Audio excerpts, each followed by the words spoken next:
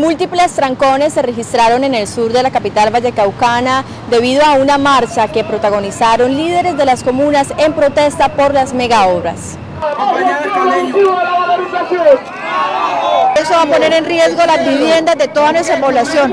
La mitad del pueblo caleño está atrasado en predial y no es posible que se pretenda hacer obras aquí buscar progreso, entre comillas, a costa del bolsillo de la gente donde no va más y donde negociaron el único patrimonio que nos podía dar para inversión social que es en Cali.